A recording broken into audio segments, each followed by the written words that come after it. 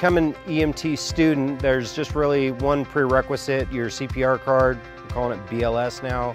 Um, so just a four hour class, healthcare provider type card.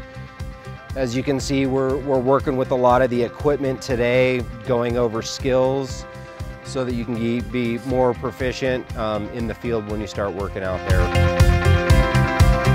The program's great. Everyone's here because they want to help the community and help people. The people who are instructing, um, they actually, you know, they really have a passion for it and it's not just kind of like, oh, here's this, here's that, cut and dry.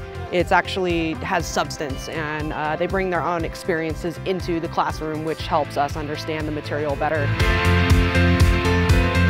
So with, with, this class, it'll get you a certificate. So at the end of the class, I'll sign it saying you've completed that 189 hour class through the Lake Tahoe Community College and then you'll take that to the National Registry. You'll have to do one more um, written test for that. Once you have your National Registry license, then you can start working um, right away, either in a hospital, on an ambulance, ski patrol. Uh, there's quite a few jobs out there working as an EMT.